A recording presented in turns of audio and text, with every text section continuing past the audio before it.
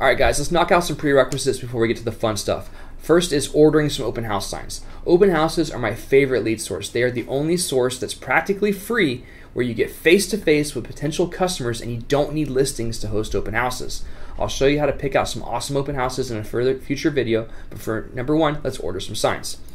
So the first thing you want to do is Google build a sign and look for their ad. They usually have an ad running and it's going to have the best discount. So go to build a sign. And what we're going to order through this ad is the stakes only. So go down to accessories and yard sign stakes. And towards the bottom, you should see premium wire stakes. Don't get these cheap, crappy ones. Get the premium wire stakes. The reason for that is they're actually going to last a long time. You're not going to break them over and over again and just have to buy them over and over. These will last a very long time. We're going to order either 12 or 25. This is going to depend on your budget. I recommend 25, but if you're on a tight budget, just get 12. You'll be okay. It won't be as good, um, but if get 25 if you can if you can afford it, and they're discounted. So the more you get, the cheaper they are. Um, so you know, make sure this is 25. I was playing with this earlier.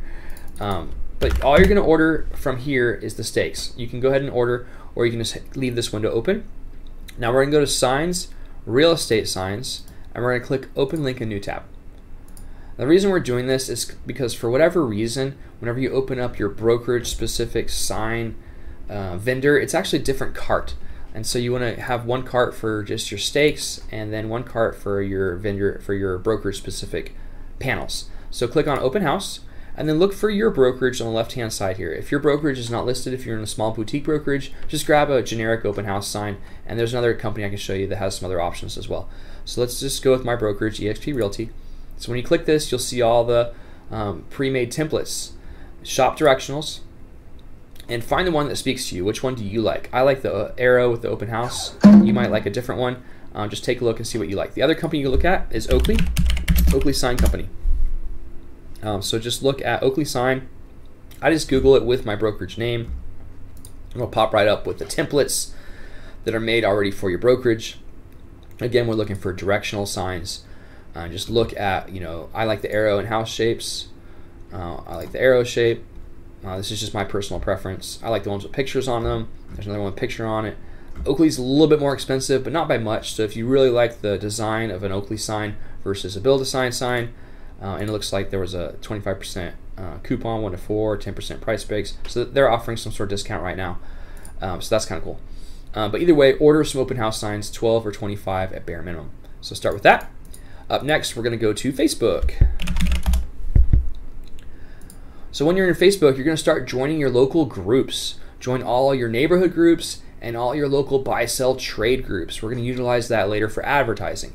So what do I mean by that? Just type in buy sell trade into Facebook and we're going to click on groups and find all the buy sell trade groups in your area. So I just typed in buy sell trade and all these groups popped up in my area and so I've already joined most of these go ahead and just go down the list and just join them. Join all of them.